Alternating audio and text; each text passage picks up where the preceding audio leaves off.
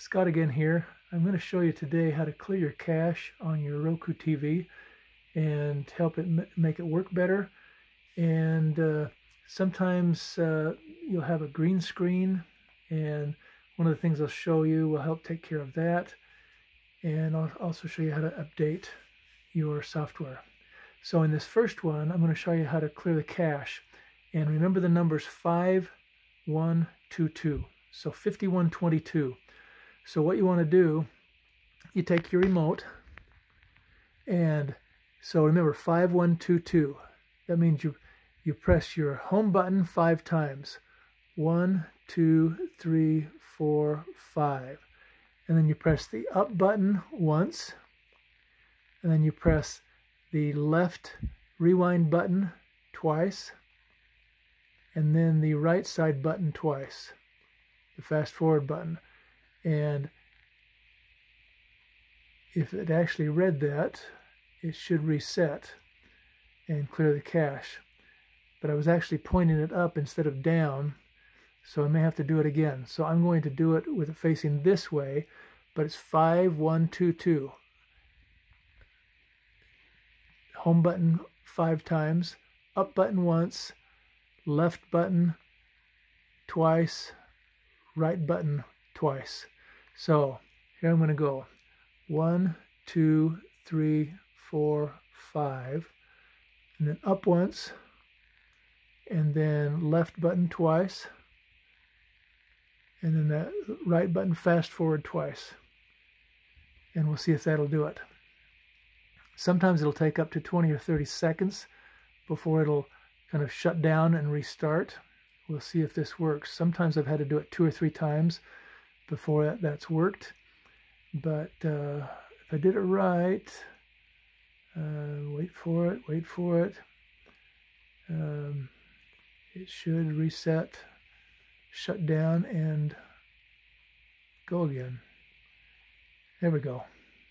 So that did take uh, quite a few seconds, so don't give up on it.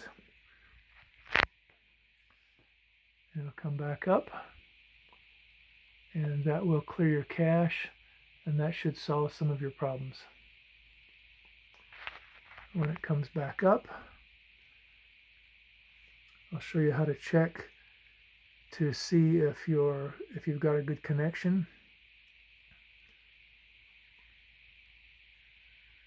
Here we go.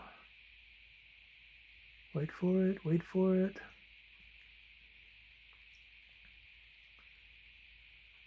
Wait forever for it. Okay, so if you go down to settings and then you go over to network and then over you can check your connection and you can check it pressing the the little button in the middle here check your wireless connection and your internet connection and depending on the speed of your connection it may be really fast or it may be a little slower looks like mine's a little slower today so both of those are good, it was successful. And you can go back and, oh, go back another time.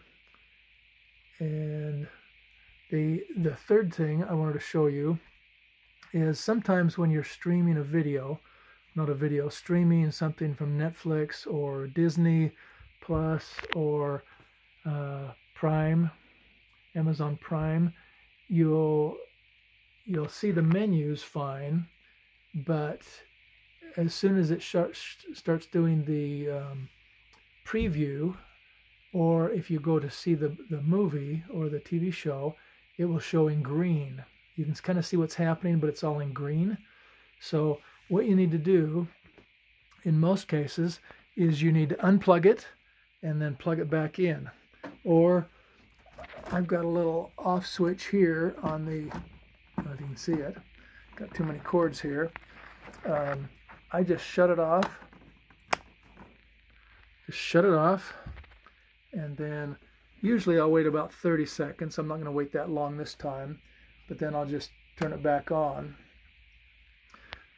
And it will come back on.